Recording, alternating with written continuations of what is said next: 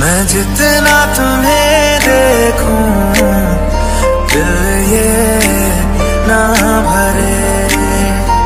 क्योंकि तुम ही हो, अब तुम ही हो।